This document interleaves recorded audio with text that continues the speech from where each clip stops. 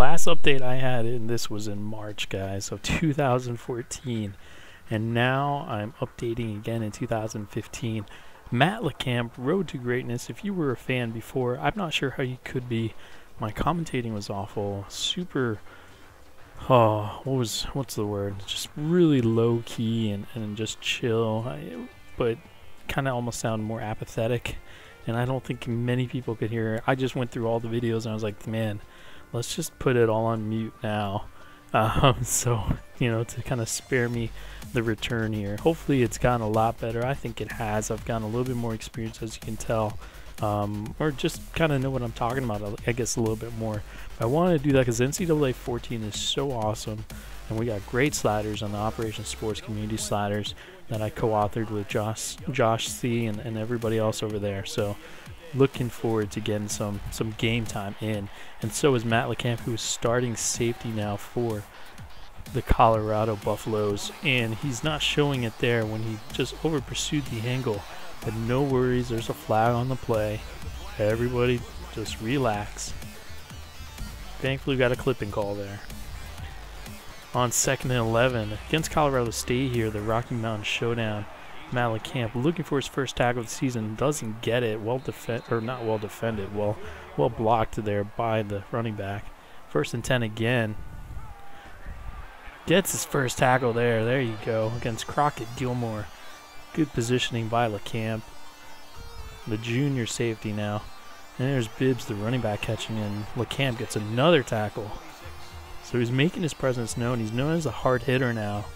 And you could see a little bit of that, but I would personally like a little bit more coverage like this where Henderson makes a great play. I want Matt LeCamp to start being that kind of player.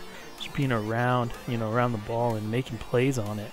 Not necessarily just tackling, but you know what? You gotta gotta give him credit for starting here in the Pac-12 for a good team in Colorado. Well, a decent team. The new head coach uh, Mike MacIntyre is taking over, and um, you know you'll see in this game and see the scoreline as it goes through. And here he kind of finishes up the tackle there, and assisted tackle, it looks like. I don't think he got credit for that. But he, you know, MacIntyre kind of took over. Here's the camp real quick. Just great pursuit there, making some good plays.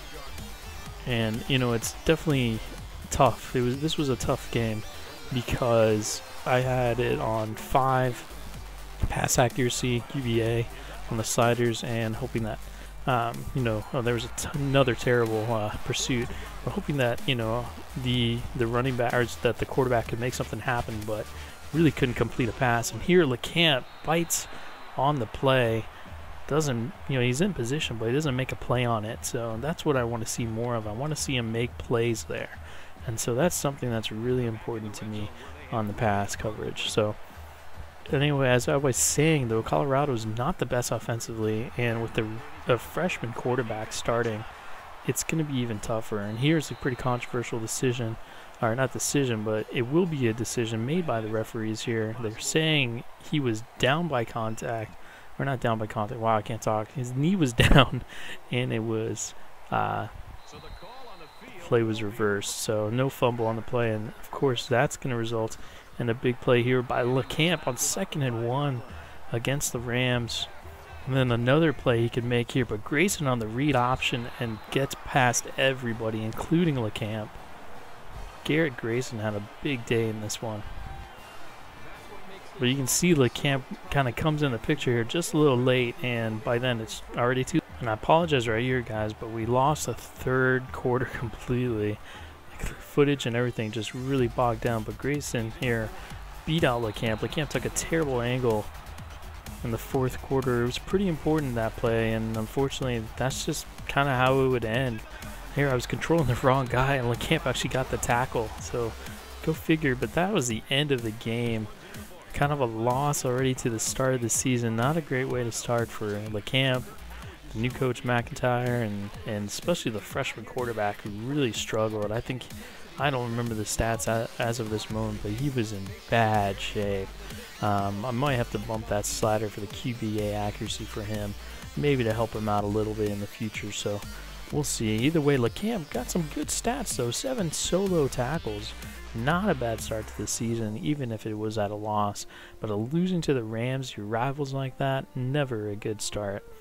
And you know, I'm going to get the next episode out shortly because I do feel bad for missing that entire third quarter, guys. The next game's an FCS team, so I'm going to skip that one and jump into the next one, and I'll have that up for you guys here in the next couple days. Make sure to leave a like, comment, subscribe. Take care, and stay tuned.